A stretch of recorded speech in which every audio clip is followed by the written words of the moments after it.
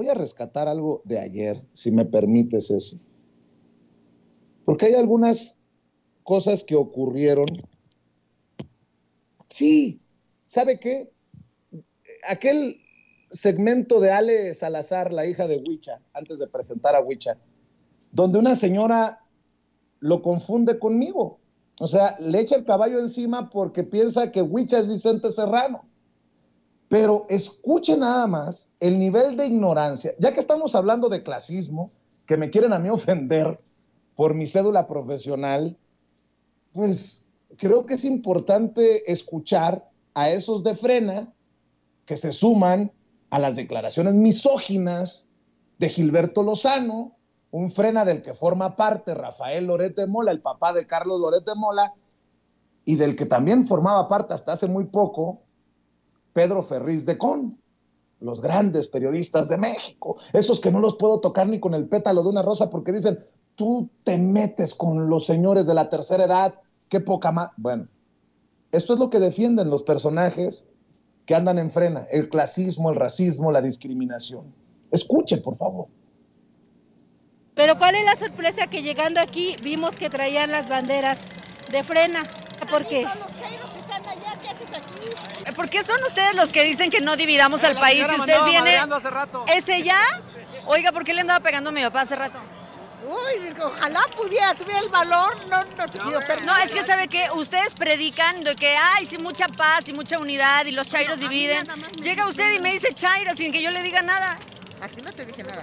Llegó y dijo, los chairos están allá, váyanse Ah, para allá. Chairos, sí, ¿qué son? ¿Qué son ustedes? ¿Qué somos? Díganos. Aplaudidores, arrastrados del cacas. ¿Qué más? Oiga. Ay, chillones porque les tiran los lentes. Porque va- ay, vaya a venir Gomise, ¿eh? Te va a dar, Pachi, Pachi. te van a dar. Me está confundiendo Pachi, con. Vicente Serrano. Es Vicente- sé. Ah, Yo soy Huicha. ay, Huicha, sí. Un saludo, Vicente. Yo soy Rebeca Ruiz. Señora Rebeca, yo he escuchado que ustedes tienen muchos títulos y muchos estudios, pero y había escuchado de la gente más naquita decirle cacas al presidente, pero usted, Pues sí, así se llama. ¿Qué nos dice a nosotros? ¿qué nos dice? Bueno, ustedes, mascotas.